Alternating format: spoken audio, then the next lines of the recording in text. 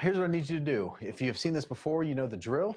Um, if you haven't, um, this is a live Q&A uh, where you can call in, or where you can comment with a question. We'll reach out to you immediately to get your phone number. We'll call you here from the studio, and then we will uh, talk to you live. This is Tyler Harris. How are you? Hi, Mr. Harris. Mr. Harris is my father, and he is not. Here. I'm sorry. He's not here today. Are you from, Crystal? Um, we live in a suburb outside of Kansas City. Okay, very cool. Well, did you have a question for us today?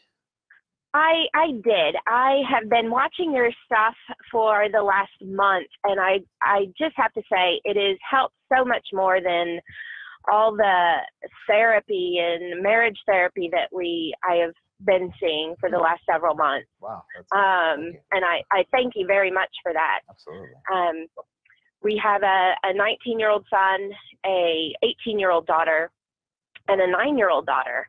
Um, I've been married for 20 years. Um, I've always worked around my husband. Um, just kind of, we're very, or I guess I should say our family is. Uh, we've always been very spiritual, um, have a lot of faith. Um, my husband um, has been having an affair Okay.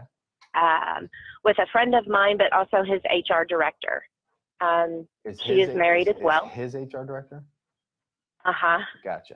Um, my husband was the chief of police in our city.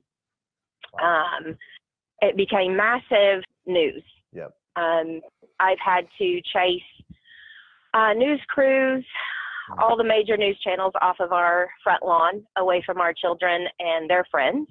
Wow. Um, it's been very humiliating. Um, Absolutely. hence why I I need to leave to keep it away from our nine year old Sure. um, as much as possible. The older two are completely destroyed and affected. Mm. Um, I guess my he tries to come and go. Okay. Um, he hasn't lived at our home for almost three months now. Um, it's just nonstop lying and all of that. And how do you stay so strong um, through something like that? But our 18 year old, um, I am one of those. I did not make these children by myself. Sure. um, these are our babies, Yeah. uh, regardless of anything. Mhm. Um, but um, I have the people that he is staying with. Um, you know, I have sole custody right now of our of all of the kids, but our nine-year-old. Okay. Um, and they are asking. They've asked her questions when I have let him, you know, take her for a while. I want them to spend some time together. Sure. Um, but they are asking her things like, how does she like her new mommy, Natalie? And, you know, all, all the kids know this person. Um, you know, she's been in and out of their lives for the last several years. Um, and they just, they don't, the 18 year old, especially right now, wants absolutely nothing to do with him. Okay. Um, and it is heartbreaking, but Sure. yet um, she is going into law enforcement.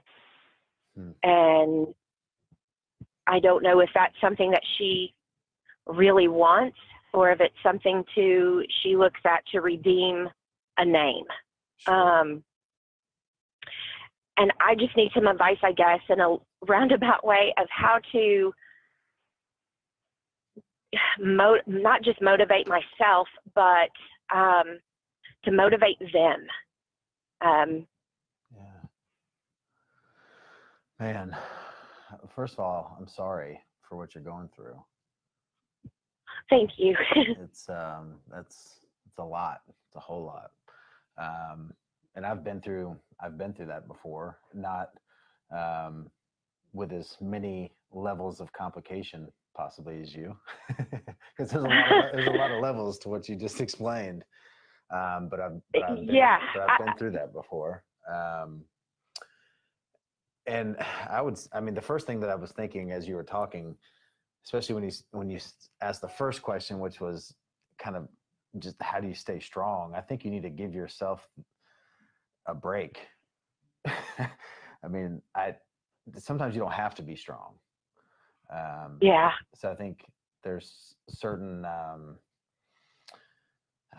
there's a certain element of being able to go through the pain because when things are painful, you need to experience that and you need to deal with that and you need to have that because if you try to be super strong and just put on this front of I got it all taken care of and I got to be strong for my kids and I got to be strong for me, I got to be strong for for him, I got to be strong for what's going on in the community, I got to be strong and then you know who's who's taking care of you. I think the first and foremost you get you you right now have to take care of yourself.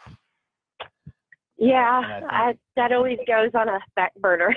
yeah well and, and it can't because i mean this is something that i've become so focused on in my life is you know you hear that whole oxygen mask analogy right with the airplane you know, Yeah. cabin pressure drops you got to put on yourself first and you've heard it a million times and we all heard hear it and we say yeah absolutely 100% of course but when it comes down to what we're actually doing in our life like we don't actually do that uh, but that's one of the big things that I've learned from this coach I have, Sean Whalen. He's like, if you don't do that, you die. and everyone dies. yeah. Everyone dies, not Yeah. just you, everyone. And the only way that you can take care of your kids is by taking care of you first. Yeah. Because you can't you can't pour from an empty glass, right? Yep. And so yep. I mean, I think that that's first and foremost is, and, and what that looks like, I don't know. I mean, certainly you talked about counseling and things like that. I mean, you've got to have people to talk to um, about this, but you've also got to have some time just to sit down and just kind of deal with it. you know, I mean, you're probably so busy worried about all this other stuff that you haven't really had a chance to even really, you know, Yeah. I'm terrified.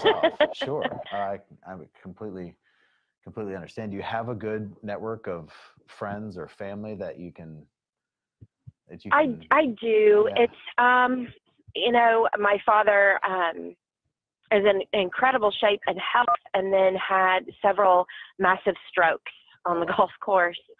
Um and so you know, my mom, I'm an only child okay, and uh, she's been dealing with a lot of that and they're brutally angry with my husband Sure. and um, so when there is communication about that there's a lot of negativity and i try to you know keep away from that because there's so much already i you know am, am focused on looking for positives every day i wake up in the morning and the first thing i'm doing is hitting a devotional and yeah.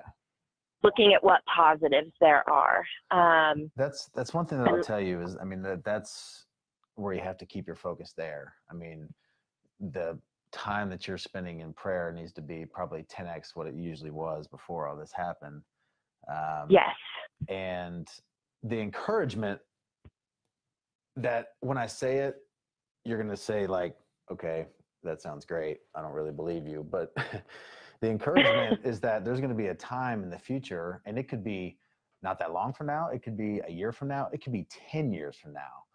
But I can Yeah. promise you that there'll be a time where you look back um, on all this stuff going on and that you'll you'll literally feel grateful for it like you'll feel Yeah. you'll feel as though it was the biggest blessing that ever happened to you because of what's going to happen next and i know that sounds it sounds crazy but like with me and my situation um, i had a similar situation a, a spouse that had an affair and it was incredibly painful and incredibly horrible and the families were involved and it was it was bad.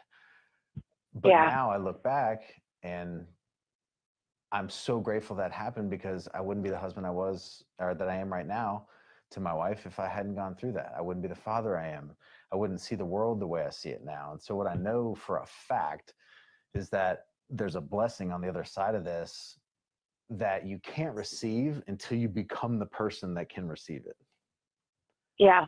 and so that takes I get that. and that takes spending time on you it doesn't take spending time Yeah. with your kids like i know that's obviously it's important but when you truly come to that realization which i think you need to come to that realization of I cannot, like, I physically, mentally, I cannot help my kids until I first take care of myself. When you make that switch in your mind, I think everything will start to become a little bit more clear as far as the path that you're supposed to be going down and the things that you need to be doing on a daily basis. Um, Okay.